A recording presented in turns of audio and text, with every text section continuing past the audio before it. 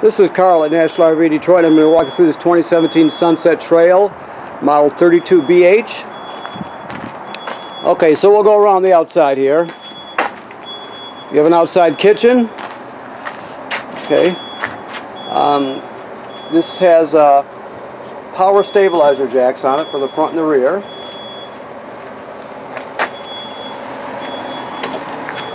Okay. Has a power awning This up here, this is your vent for your range hood. If you're gonna if you're gonna vent to the outside using the range hood, make sure you open the baffles on this and let it flat freely. Like I said, outside speakers, power awning. You got a antenna out, power, and a TV bracket. Alrighty. This in here is is a or is a um, grill bracket, a swing out bracket for the rear bunker bumper. Apparently the previous owner took it off but you can have it in case you want to use it. Um, okay.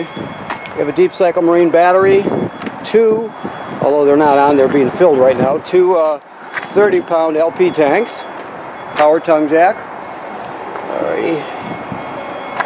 Um, your furnace is an Atwood, or I mean your sorry, your water heater is an Atwood, and you can see it's drained right now. There's the plug there, and there's the drain hole.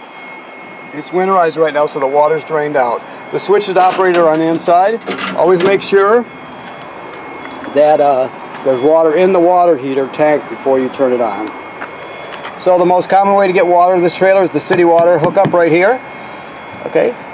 Um, if you uh, are at a campground that does not have plumbing on the campsites, you can pre-fill your freshwater tank here and use the onboard pump to pump the water.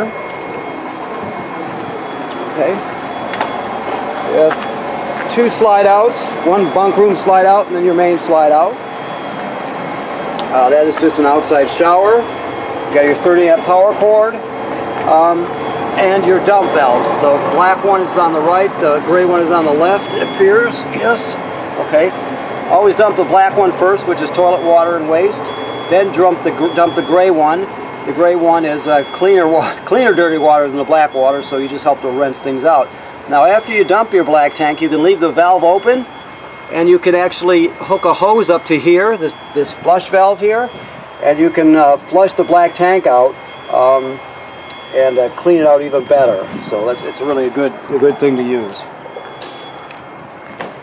Okay, you have ladders so you can you can inspect the roof. Try to get up there every 90 days or so and take a look at it. Make sure all the uh, the seals are nice and tight, no separation or cracking.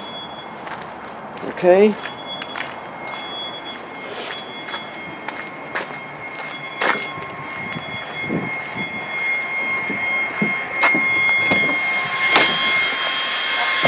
Okay, we're still cleaning up in here for you, so we'll work around.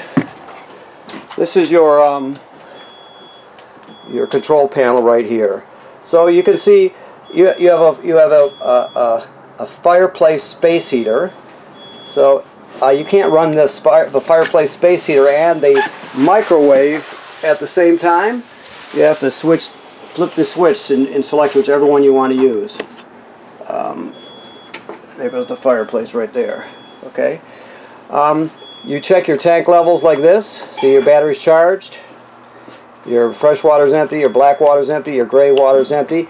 Graduates up in one-third increments, so when it gets past two-thirds, you got to start thinking about dumping it. To turn on your water pump, it's right here. Your water heater to light it on gas is right here. Electric is right there. Like I stated outside, make sure you have water in the tank before you light it. These are your lights here.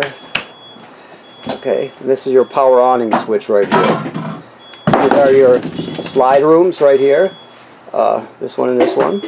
So uh, uh, that's where you control just about everything from your sound system. It, it plays discs. Um, it's uh, you could also stream off this USB here and I'm not sure if this one is new enough to have Bluetooth or not. Let me look here. Oh yeah, it has Bluetooth also, so you can hook up wirelessly with your uh, phone or your tablet. Okay. The uh, bedroom area is just self-explanatory. Um, the escape window is right over there. You're going to open that, open the latch on the bottom and push it through, and then you grab hold of the yellow, excuse me, the red tab, and pull the red tab, and pull the screen out. Okay. All right. You have a hide a bed here, I believe. Let me look. Yeah, so you take the cushions off. This folds out into a three-panel hide a bed. Uh, also, you can drop this table down and use the back cushions to fill in the the, the uh, empty spot where the table is and turn this into a bed also. So you got actually two more beds out here. Your refrigerator is a gas absorption refrigerator, meaning it'll run on 110 AC or LP gas. So to light it on, on electric, you're always going to push auto. The reason they call it auto is because it automatically will select electricity if it finds it. If it can't find it, it'll automatically switch to gas.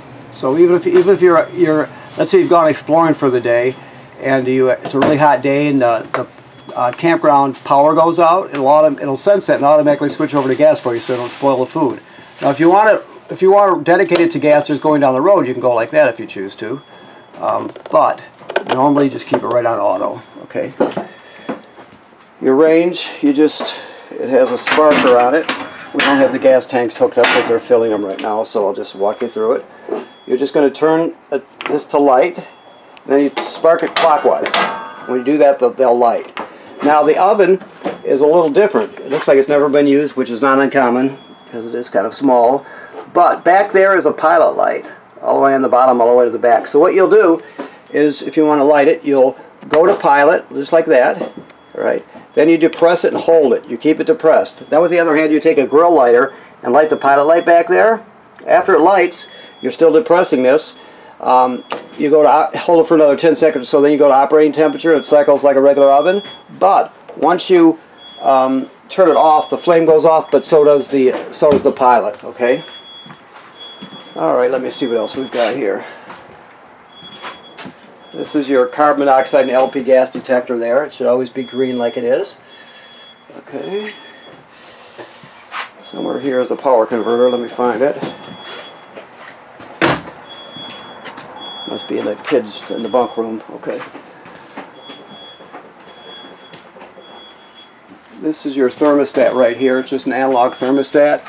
It's self-explanatory. Try to keep the fan on auto all the time and then you can select heat or cool or just fan um, like so okay let me squeak right through here uh, Amanda okay so you see the bunk room so you have uh, a fold down bunk here obviously another permanent bunk there and then this sofa jackknifes down to another another uh, bed is a jackknife let me see no, this actually folds out, so it's actually a nice. It's a it's a fold out, so it's actually nicer than just a jackknife. I of course you got TV, potential TV, and your your hookups are right up there, so you got everything you need there. Let me just look and see what else we have. Okay, still haven't found the power converter, Amanda. I don't. It's here somewhere. Let me see. Uh, where did they put that darn thing? Should be right out, usually right out in this room. But I'll find it. As soon as I come across it, I'll let you know that I found it. Okay, so there's nothing under there. Aha! There we go. So this is the power converter right here. So what this does, it converts 110 AC into 12 uh, over to 12 volt DC. So on this side, you got regular 110 volt uh, AC circuit breakers, like you would have at home, and they're all labeled. Then it converts the power to 12 volt DC over here, and you got 12 volt fuses that are labeled. Okay, if any of those fuses ever blow, they'll actually light up and you can see them glowing through this plastic here. And uh, while you're plugged in, this will sense how much energy your battery needs up front and keep it charged. So it's also a battery tender when you're plugged in. So, okay. And last but not least, the bathroom works like any sink and shower work like any other sink and shower. The thing is, the toilet, you have to have um, you have to have uh, water and chemical in it to start using it. So if you're going to, um, if you're going to, once you get to the campground, your black tank is empty. You're going to dump your chemical right in here, whichever brand you use, put one dose in there. Then you'll step on the pedal. Water will come swirling out, and you'll stand on the pedal until you put about a gallon of water in the tank. There's no way to tell exactly what that is, but you just use common sense. And uh, put some water in there with chemical, okay? All right. Okay, I think that covers it. So thank you for purchasing your trailer at National RV Detroit. Remember what I said about um, inspecting the roof, that's important. So keep an eye on the roof and all the seals on the side of the trailer, any place you see caulk from the factory. Okay? And um, as I said, thank you very much.